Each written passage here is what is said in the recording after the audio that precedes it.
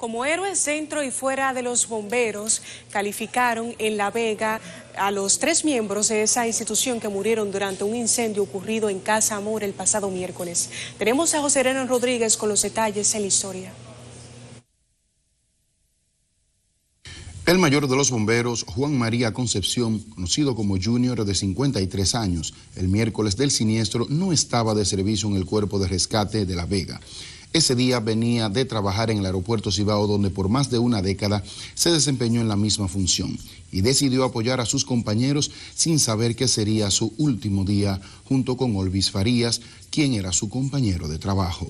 Venía del aeropuerto porque él pertenecía al cuerpo de bomberos del aeropuerto del Cibao y cuando venía en camino eh, se enteró de, la, de la, situación que estaban pasando y decidió seguir derecho para allá. Y casualmente llegó junto con el otro cuerpo de bomberos de aquí de La Vega, porque mi papá era una persona desinteresada. O sea, él lo que le gustaba servir. Él no estaba de turno, o sea, no tenía que, si él hubiese querido, no, no, hubiese, no hubiese ido a ese fuego.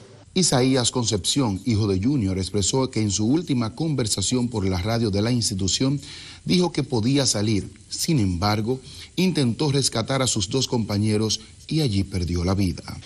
Y lo último que él dijo, que él no iba a dejar a sus bomberos porque él podía salir. Lo que pasa fue que cuando se desplomó el techo, lo aniquiló a, todos. Pero estaban atrapados ahí, pero él podía salir. Y él intentando sacar a sus compañeros, perdió la vida.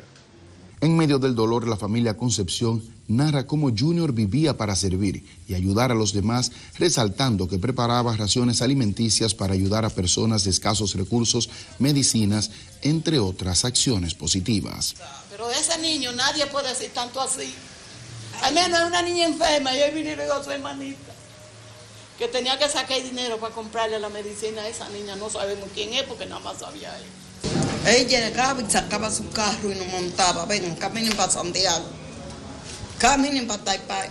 Mientras la familia del sargento mayor José Luis Mojica, en medio del dolor que les embarga, resaltaron su liderazgo en la comunidad y cómo siempre estaba presto para servir a los demás.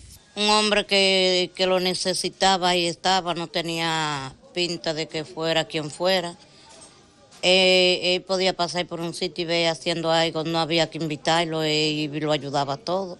Resaltaron que José Luis Mojica, quien era el pilar de la familia, sea recordado como el héroe que fue y esperan que las autoridades les tomen en cuenta. Hay esperanza, según ellos dieron, de que nos van a ayudar, porque tuve las condiciones. Entonces, lo que se ha recibido viene, pero no es de que, que yo estoy aferrada porque yo no, ¿cómo te digo? A mí no me interesa que me den nada, si no quieren, porque la tristeza no me la van a quitar. Además de declarar tres días de duelo municipal por la pérdida de los ya definidos héroes nacionales, el alcalde de La Vega, Kelvin Cruz, anunció que tienen previsto un plan de trabajo con el presidente sobre el futuro de los bomberos. Desde La Vega, José Adriano Rodríguez, CDN.